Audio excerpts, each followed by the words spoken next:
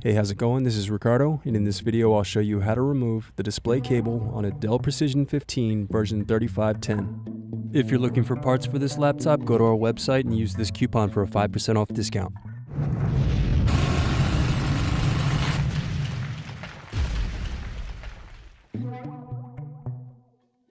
First loosen screws, then use fingers to separate and remove bottom base.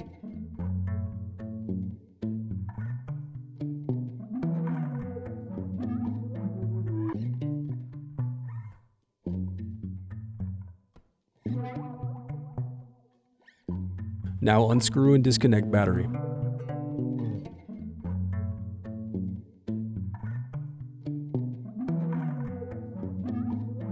Then unscrew and remove bracket. Now disconnect and remove wireless card.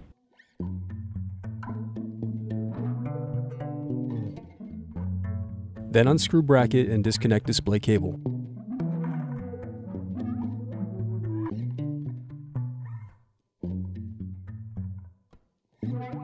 Next unscrew and slide off hinge covers.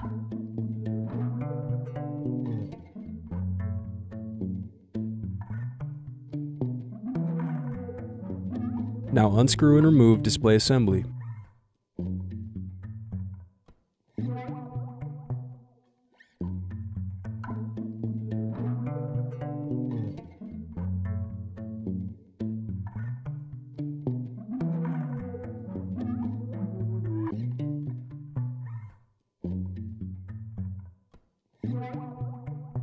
Next, use fingers to separate and remove display bezel.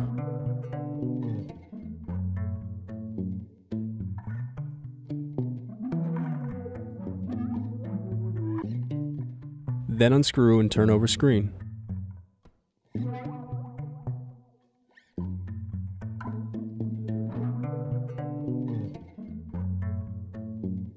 Now disconnect and remove screen.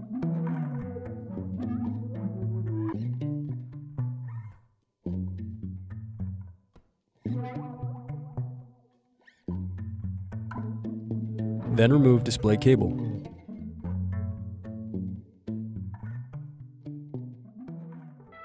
Thanks for watching. Don't forget to like and subscribe if you enjoyed this video.